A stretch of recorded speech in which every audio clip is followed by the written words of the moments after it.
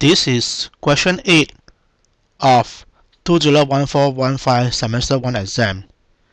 We are going to evaluate a double integral which is integrate 60 x squared y dy dx where limit of x is from 0 to 1 and limit of y is from 0 to 1 minus x.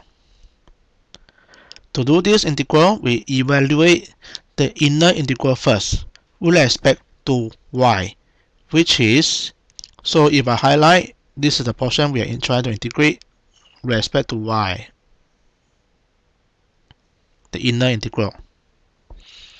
Okay, so now when you do the inner integral respect to y, you treat x constant. All the x are considered constant. That's why I have this treat x constant here. So if x is constant, you are actually integrate you treat all the x constant as you integrate with respect to y.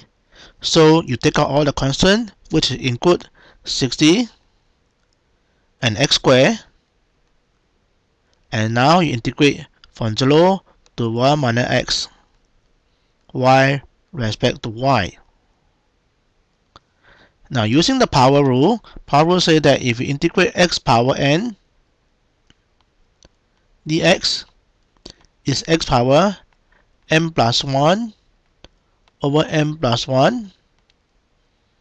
So for y x power 1, you get integrate with respect to x, you get x squared over 2 for n equal to 1. Therefore, making use of that, so integrate respect to y for y, we are going to get 60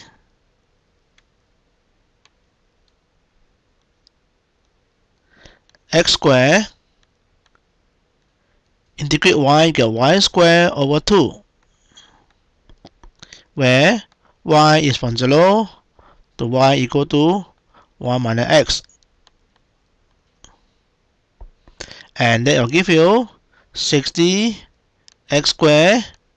Your y become 1 minus x now, so this is 1 minus x square over 2 and when y equals 0 you also get 0 simplify you get 30 x squared times 1 minus x whole thing square. That is the inner integral.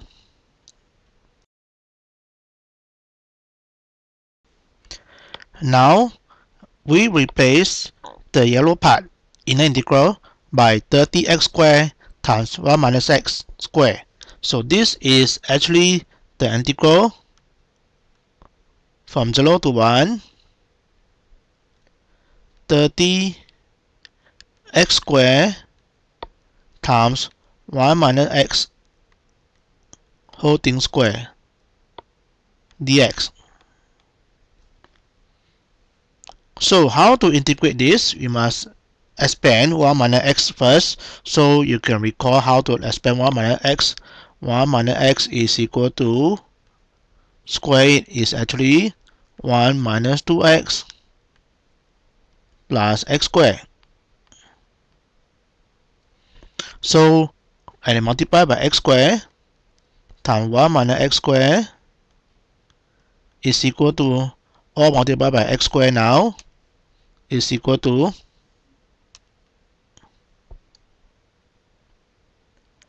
x squared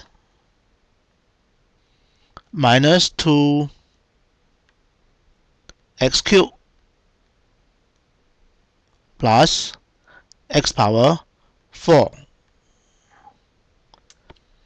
Therefore, this integral is equal to integration of, you can take out a 30, as 30 is a constant, 0 to 1,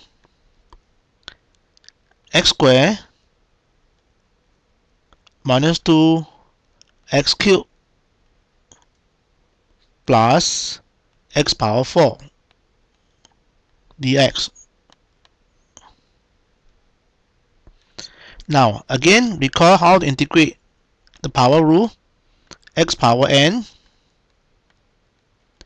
dx is x power n plus 1 over n plus 1. So the first term you integrate there are actually three terms here let me do it slowly for you first term is integrate x squared second term is take out a 2 integrate x cubed respect to x. And then last term is integrate x power 4 respect to x. And you apply the power rule now. This is equal to 30 x power 3 over 3 x from 0 to 1 and I will write down the answer later on. Minus 2 x power 4 over 4 and then followed by integrate x power 4 you get x power 5 over 5 where x from 0 to 1 and so after substituting x equal to 1 and x equal to 0 the first term you have 1 over 3 minus 1 over 2 as 2 and 4 cancel. And then plus 1 over 5 and then second term when you put x equal to 0 they are all 0 okay let's put in all 0 here. So the answer is 30 times okay 1 over 3 minus 1 over 2 plus 1 over 5 so the final answer is 30 times 1 over 30 because 1 over 3 minus half plus 1 over 5 is 1 over 30. So the answer is 1.